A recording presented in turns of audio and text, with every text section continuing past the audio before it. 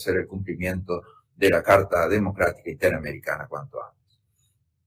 Respecto, agradezco al señor presidente y a los integrantes del Consejo Permanente la gestión encomendada. En cumplimiento de lo solicitado, procedo a informar que inmediatamente adoptada la resolución, procedimos a realizar gestiones correspondientes a través de comunicaciones dirigidas al propio comandante presidente Daniel Ortega y de contactos institucionales al más alto nivel pertinente con la Cancillería nicaragüense y sus dependencias. Se llevan adelante estas gestiones a través de canales políticos del más alto nivel también, y a través de la Secretaría General. Al respecto, damos cuenta de las siguientes gestiones. A, contactos con la misión de Nicaragua ante la OEA. B, dos eh, notas enviadas al presidente Daniel Ortega en los términos de las resoluciones aprobadas a través de la misión y de la propia Cancillería.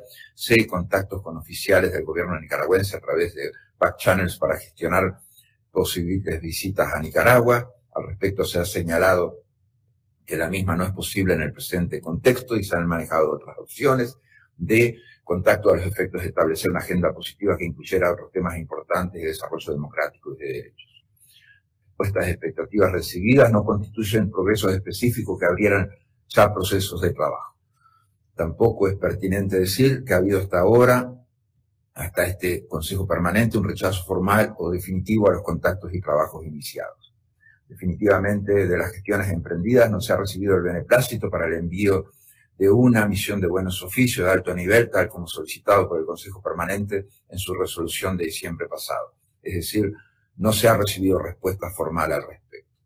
Tal como realizado en el pasado, se continuarán extremando los esfuerzos que en su momento permitieron a esta Secretaría General facilitar mecanismos de diálogo con las autoridades de Nicaragua que llevaron a trabajar aspectos relevantes para el país, tales como la observación de las elecciones municipales de 2017, la definición conjunta de los contenidos de las reformas electorales e institucionales necesarias, las firmas de acuerdo para el ingreso a la Comisión Interamericana de Derechos Humanos, a Nicaragua, así como la creación del Grupo Interdisciplinario de Expertos Independientes y la liberación de más de 300 presos políticos en el proceso negociador de 2019 junto con la Anunciatura Apostólica y la Cruz Roja.